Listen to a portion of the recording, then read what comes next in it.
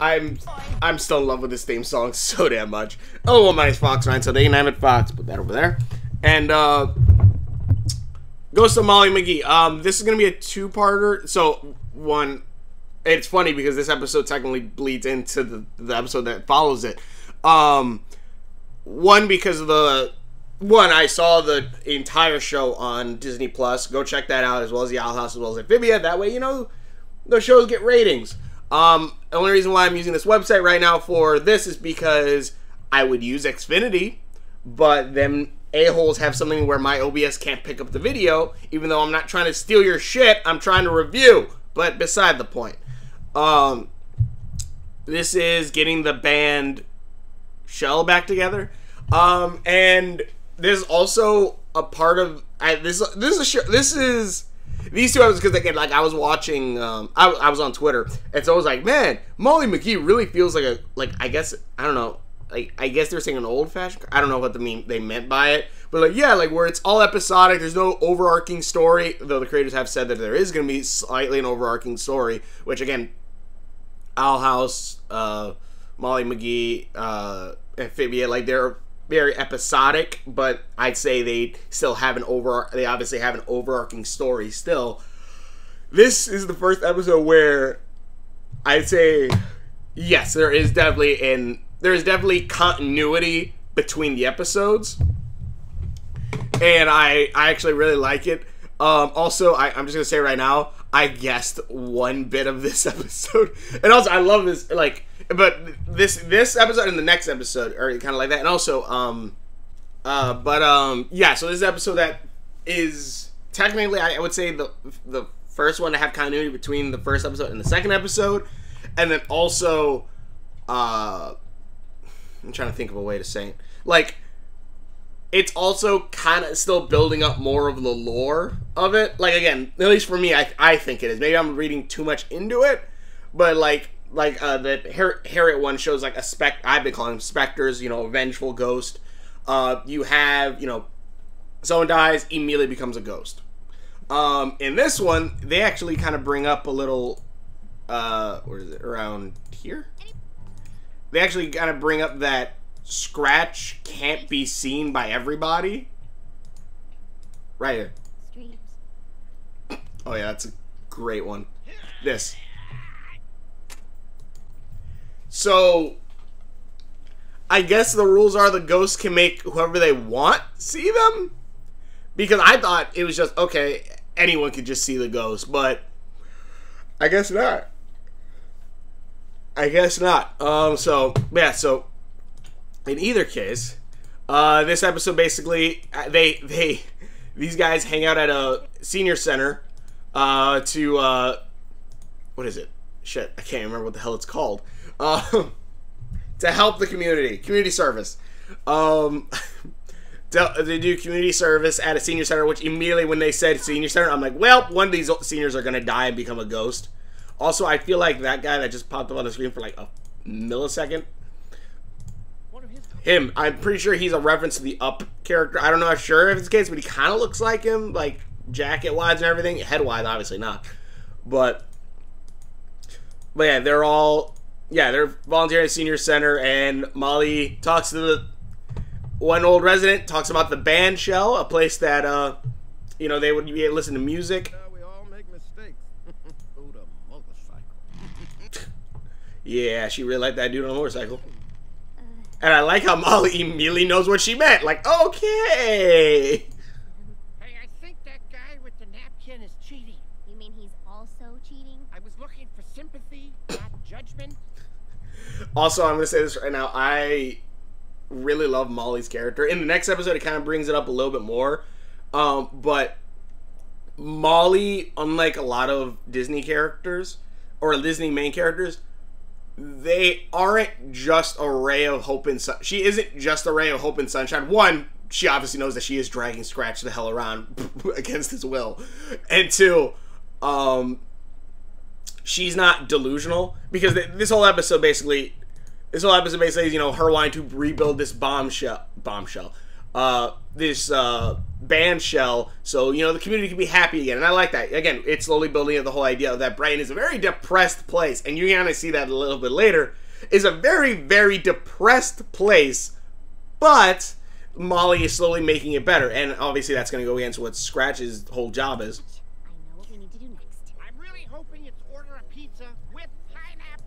i get it everyone people like pineapple i don't time, I really fear that it's gonna be something about putting the beer sugar. You get me? Oh, I get you all right. I get you 24 7.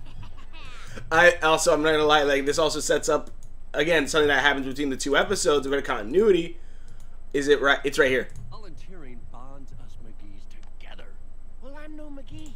That because I love found family trope, and I'd like that in this case. It's not you know in the sense of lose or um lose or uh, well, I guess it kind of is, but it's not in the sense of lose or and where it's like a found family with a, it, with their new family. It's who's you know the main character ha finding a new family. It kind of is, but Molly adopts uh, Molly and the McGee's adopt Scratch into their family, and I like that. It, it's Scratch finding a found family instead of Molly and you know finding her thing. Even though it kind of is still because you know Scratch is finding Scratch, but you get what I mean. It's less it's more the entire family is adopting Scratch rather than the other way around of, you know, uh, the main character adopting the family in a sense, I guess. Um, and I like that. I like that a lot. Um, not saying I have a problem with the other way around, but you know, it's cool seeing that flip, and also that. Uh, also, I like that he he actually kind of hangs out or likes hanging with out with the brother too. Are you sure? Because I thought your last name was. I again, that's that's cool. It's not just again something like Grim Adventures of Billy and Mandy, which again I like that show, but it is very that show is one very episodic. There's very little continuity between them, which you know love or hate that. I prefer continuity between them. Uh, I, I ever since Adventure Time, I like the idea of there being a bigger overarching story, but also that you know there can be episodic episodes mind you, people then confuse that with filler episodes, which those filler is only done when for anime, when you know there's push between, like when you need to space things out because the next chapter hasn't come out yet. This for this show, unless they're doing it because they're just like, eh, it's to build characters. It's so that they like, okay, yeah, I like this character. I want to, you know, and give me a minute.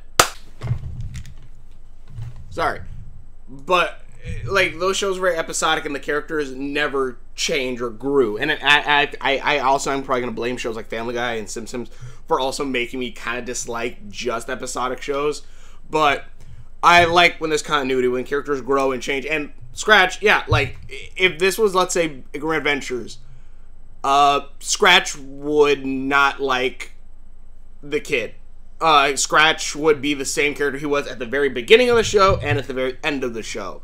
Like there's there would be no change in character, but you see that like no, he's growing to like staying with the McGee's, and the McGee's have like straight up accepted him as part of the family. Uh, but uh, but yeah, and like I don't know, I, I prefer continuity, and I like that, and also like this whole and also like basically and again obviously quick rundown I guess even though I'm like what 10 minutes in already Jesus Christ um Molly is helping out with this obvious. Molly is like, well, I, you know, we're gonna take it to the city council and we're gonna get this thing approved. To the city council and completely just says the most ridiculous, outlandish thing possible. Which, again, usual Disney fashion. This is what the main character would try to do. Would try to set, set up just a big, mega arena, like this thing says, like, oh, like let her let her describe a little bit of it. Uh, I'm not gonna try to get copyright strike because I, I did for the last Molly McGee.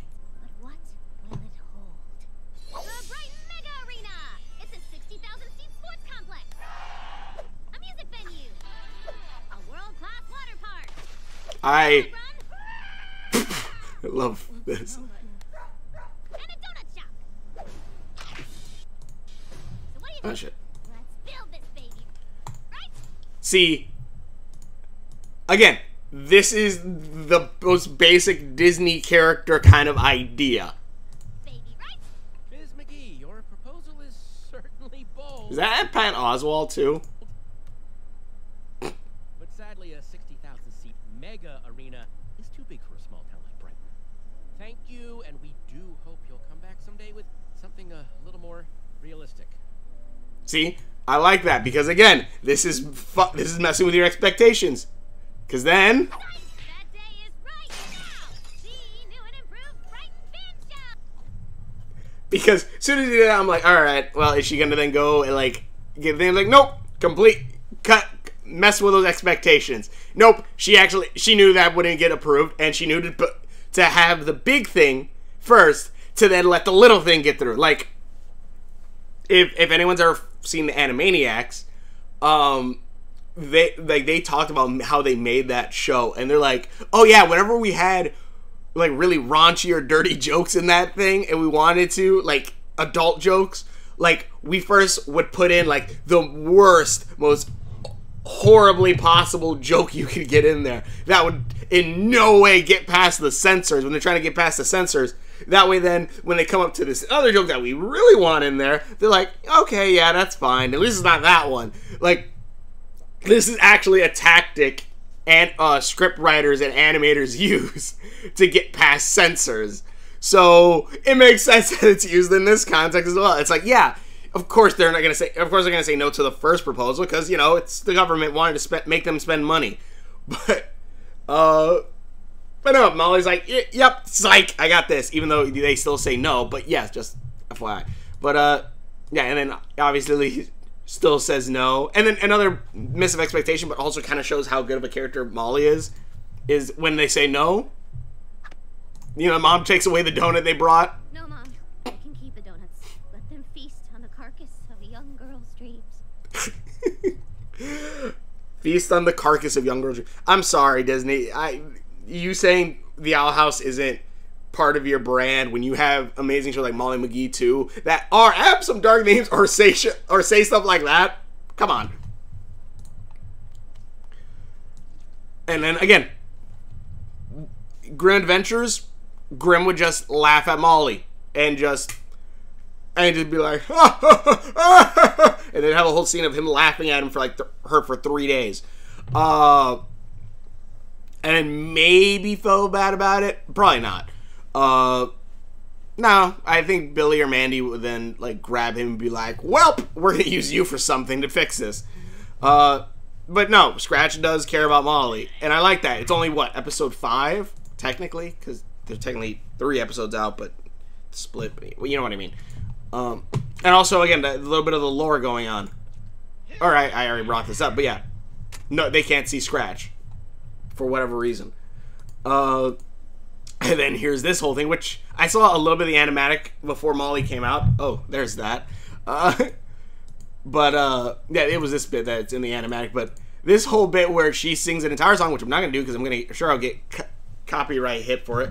Um, her just raising money so they can build the place herself. One is really cool, but also I feel like also they're slightly robbing them because they're like, yeah, sell your TV, sell your sell your car, sell all this, do all this to help us. But also I will like uh, that at this point.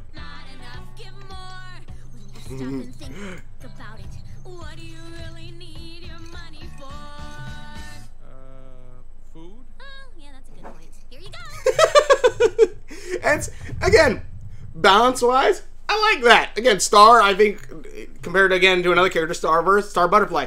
I feel like if she did this, she would just straight rob him them, and like even if it was the food bit, they're like, ah, you don't need that. Uh, Molly's like, no, yeah, you're right. You do need to eat. Here, here's some money back. Though they are saying like, yeah, do you, like sell that. I'm sure that's that work. This is the part that was in an animatic.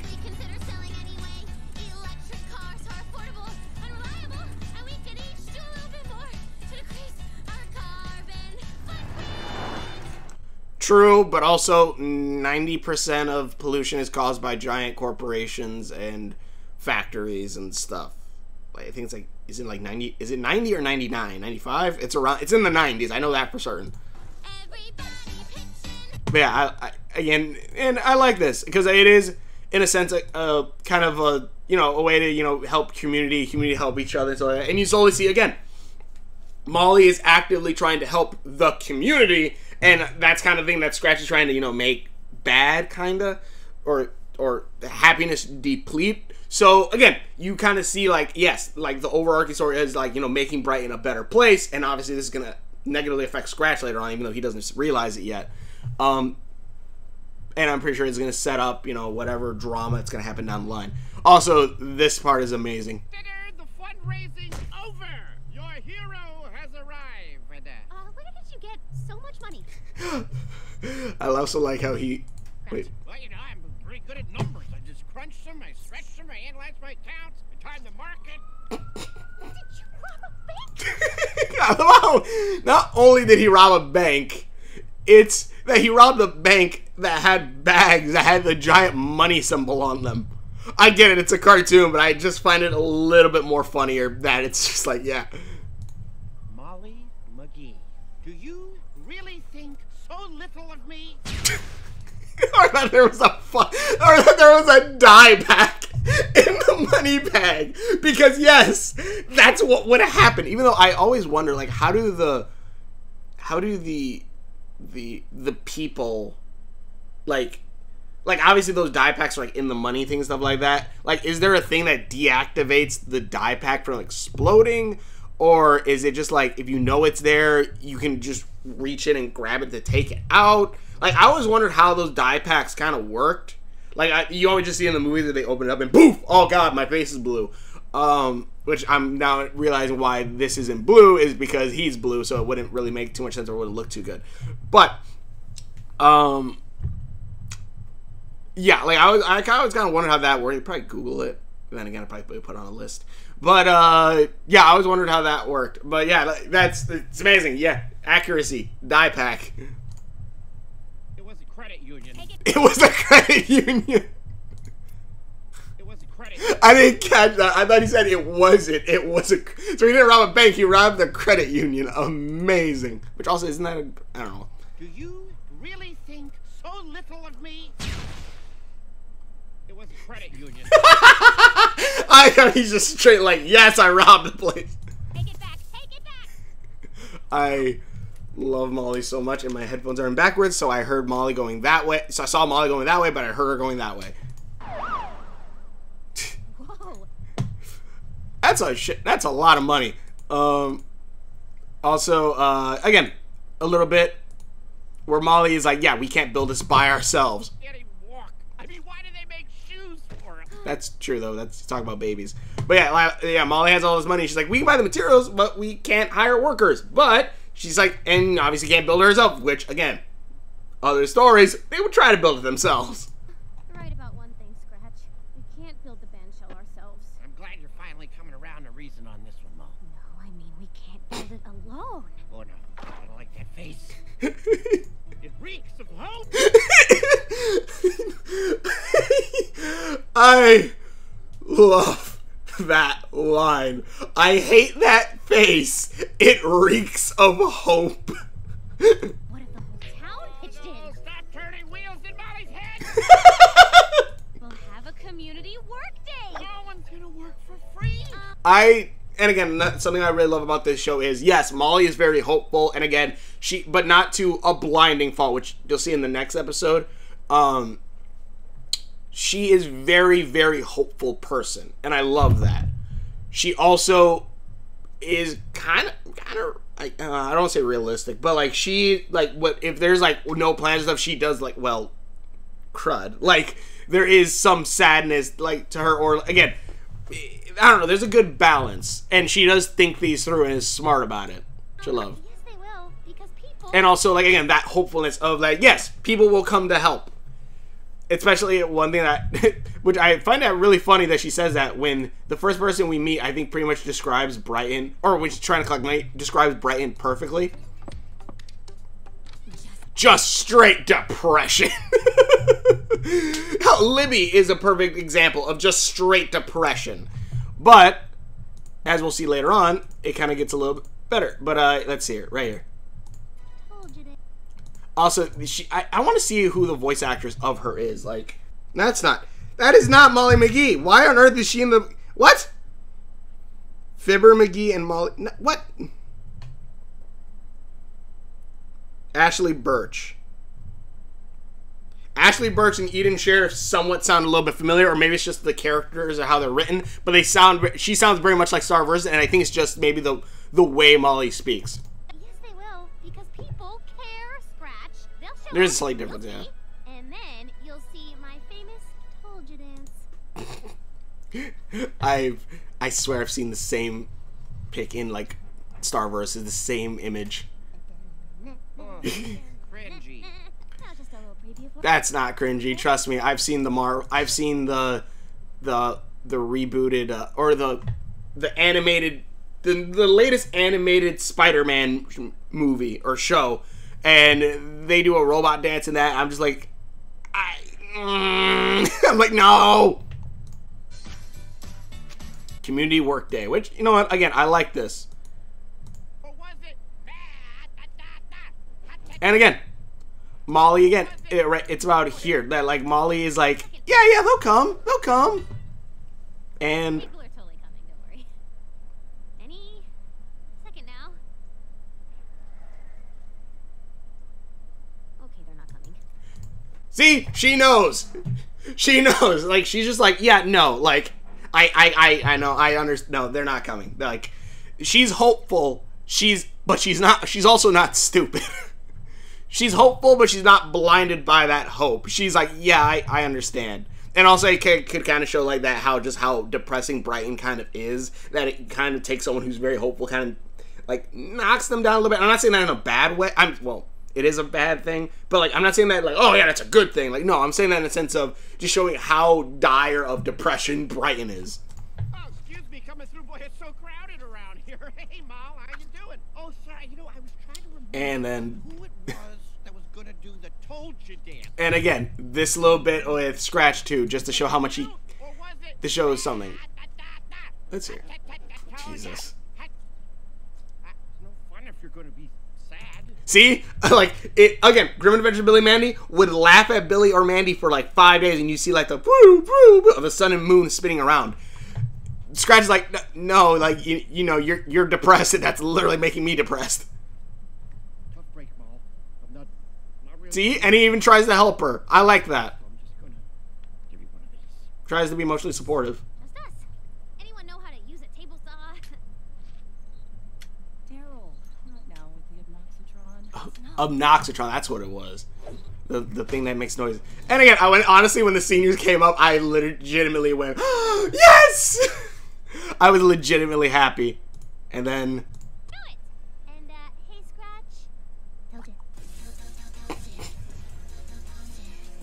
uh, hey,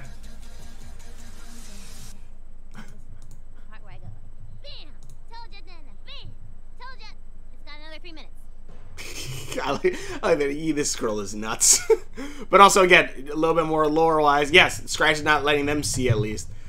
Then here's a whole little montage of them building things, which and then again, more continuity with other past episodes too.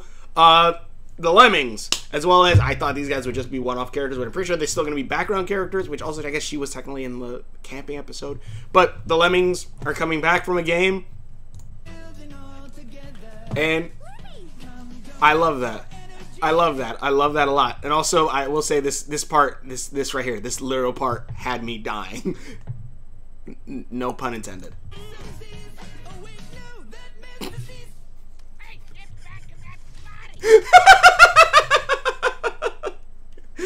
Also, I just realized the song goes, "Oh no, that man's deceased." I, I, I, as soon as I saw the seniors, I'm like, someone's gonna die today.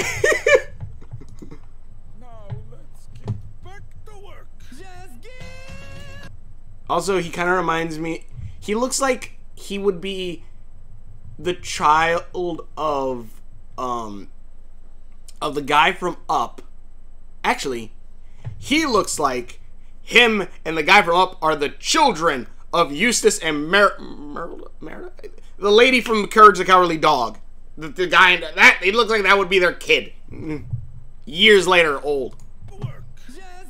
He kind of looks like uh, shit, I can't remember her name. The the lady from Courage the Cowardly Dog, but uh, uh, but like when she was a baby. Also, rest in peace for voice actress.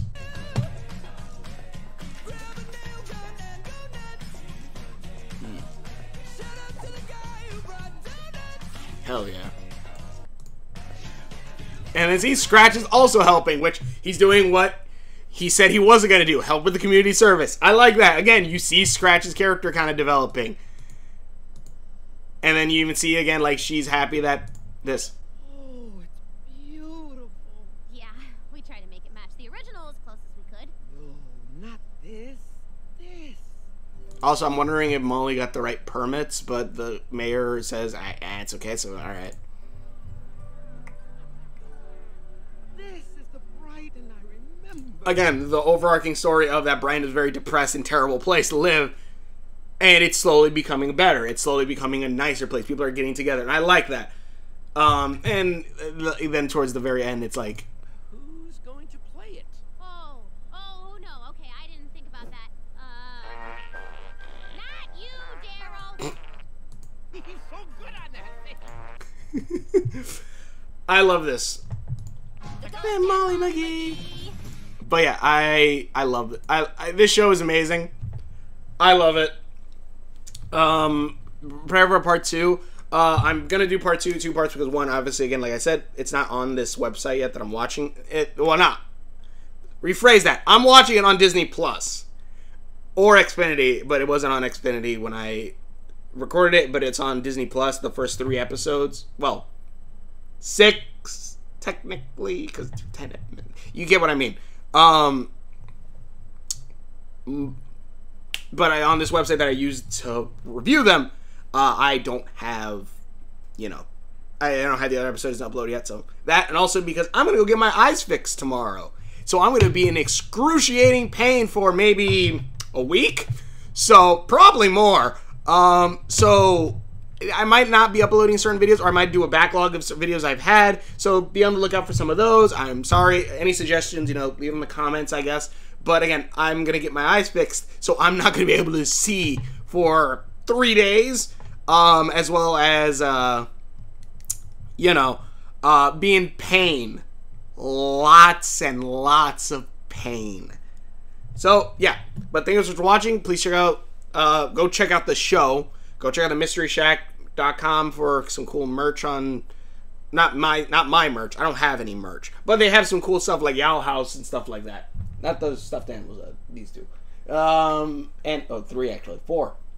But yeah, but thank you for watching. Check out videos. Hopefully enjoy this. They also have, uh, well, not this shirt, but uh, anyways, thank you for watching. Check out videos. Hopefully enjoy this. Please check out this show and check out the Owl House on Disney Plus also. That way, you know they can make more of the Owl House, whether it be season four or which I don't think is really the case, but you know, prequel series, continuation afterward, who knows. But thanks for watching, check your videos, hopefully enjoy this.